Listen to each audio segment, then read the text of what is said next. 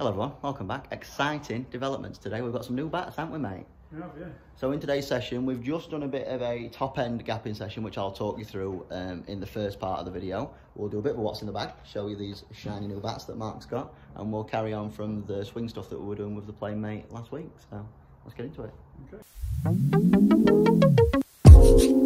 Okay.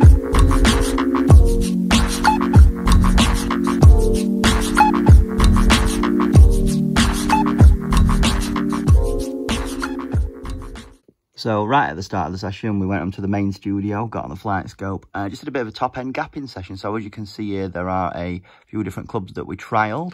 We found that a couple of clubs had a very similar distance, so we were able to make an informed decision on which clubs to keep in and which clubs to not use. Now I'm going to pass you back over to a lovely young man called Jak Lee, and we'll talk you through Mark's new bag. These look very shiny.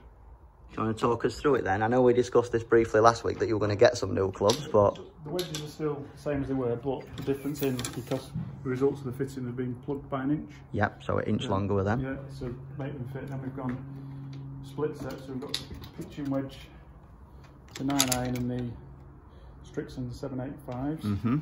And we go 7 to 4 in 585, just give a bit more help. Got you.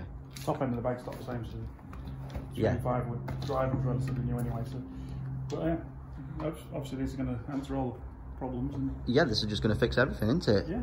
I know that we had blades before, and it was blades all the way up to a four iron, weren't it? Blades all the way before, yeah. Which so, is a scary proposition, that, isn't it? So I was a little bit apprehensive because I've been used to looking at that profile for so long, but these blend it very well. They're not too dissimilar, and just the results of playing with them for a couple of days since I've had them have been better. Very good. I just noticed we did a little bit of a gapping session. It definitely seems as though you're striking four and five irons a lot easier than what you were yeah, beforehand. There's no apprehension now like before when got four iron and thinking, yeah, I know I can do it, but can I do it today? Yeah. These just a bit more forgiving. You can be slightly off and still be okay with them, can't yeah. you? Uh, specs wise, so we've gone an inch longer, haven't we? Yes. Uh, anything else? A little bit more upright?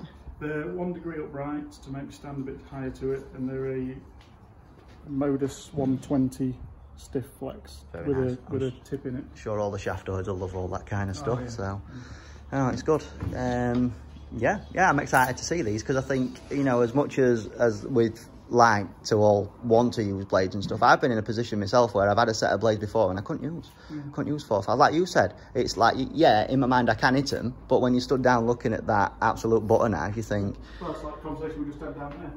I would always this is why this was brought in, but I would float between that and the four iron, depending on how I was swinging on the, the time. Mm -hmm. But I just think that shaft is just too soft because, as we've proved there, it just goes left.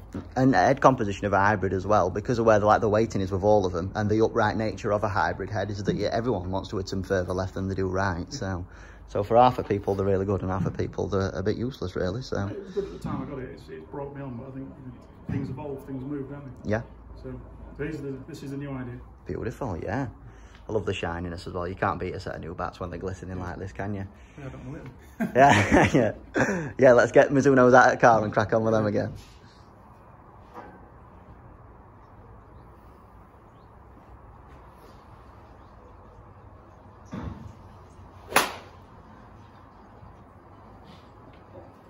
Just as a drill, do you want to try a couple of those?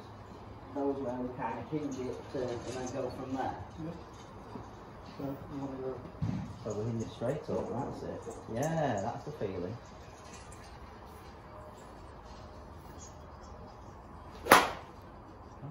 I expect a few if you did that. If I were doing it, well, I'd be doing that all the way. So full wrist hinge up, so it's almost vertical and then turning from there. Mm -hmm.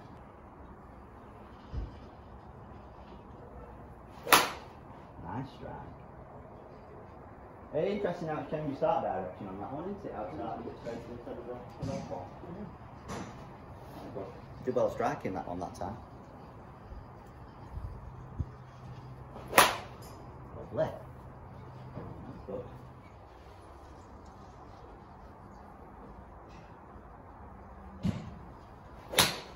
Beautiful. That was a all shot, wasn't it? Yeah. I think just this new real improvised uh, new drill that we've got is just going to eradicate that, you know, the one where we do get hands flipping inside.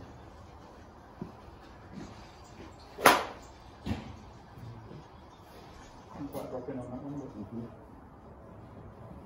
Dropping in still the feeling to move that path into.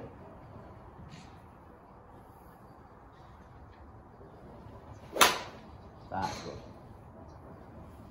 Like that. I think we'll start seeing a lot more Srixons out about now, you know. uh, trying that.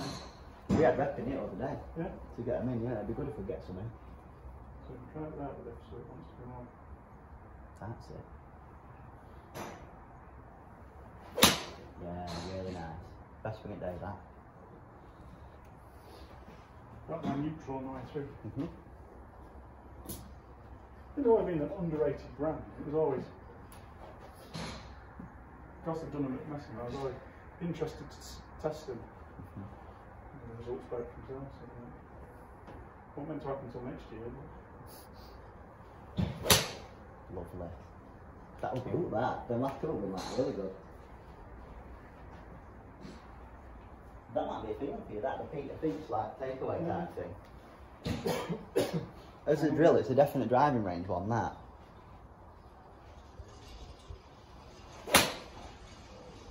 Just hinge it a bit more next time, you know, so instead of pushing it, just feel as though it's more of a hinge that way. Still wicked though. so Yeah, good. Do a good job of striking them. Tricky when you put a, a quirky drill in like this to maintain your strike, but and it's always arguments in the people as well, but it's more about the way that you move instead of them immediate results out there. So it's good this. like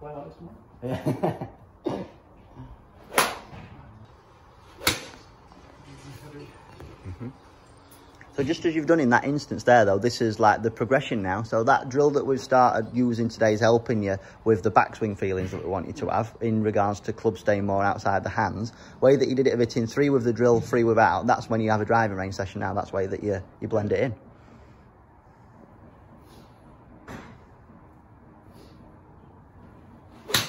Lovely, great shot. I'll tell the people about last few rounds that we've had as well. I know Club Championship were a bit tricky because that were like first round was straight off the f- the freshness of the swing change, weren't it? Yeah, was. I remember the score now. Eight over, hmm handicap in the first round. We shot level handicap on the second round, so I think we finished overall 10. Good. Good. And you've had a couple of nine holes since where we've played pretty well. Yes, 20 points first night out with them, and then 18 points second time playing with them. So we'll see what tomorrow brings. First, Beautiful. first round of the Summer Cup tomorrow. So. Oh, what's that? Is that like an eclectic competition or Yeah, but well, best best three scores out of however many rounds we play. sweet? So we'll see how it goes. Very good. Try and. Uh, I've managed to maintain through all these changes handicap, but now we're looking for a couple of reductions. Yeah.